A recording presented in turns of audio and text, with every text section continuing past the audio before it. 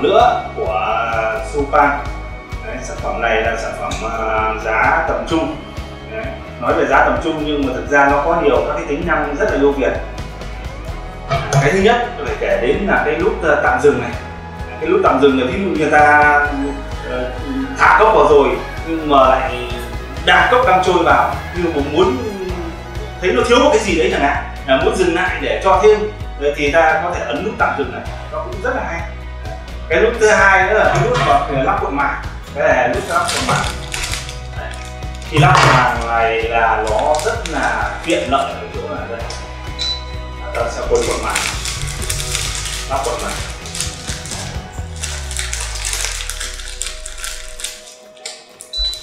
đây nó sẽ có cái, cái này có tính năng để dùng cho những người coi như là uh, muốn nhanh thế thì con này nó có cái uh, hay ở cái uh, như vậy.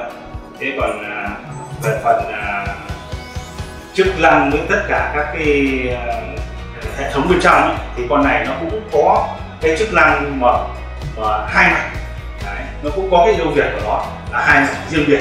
Cái mạch đằng trước là cái mạch hiển thị và à, để dùng cho các cái nút điều khiển.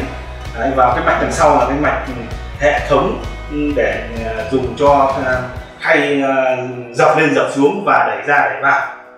Về, phần con này thì nó làm nói chung là cũng rất là chi tiết. Và đẹp.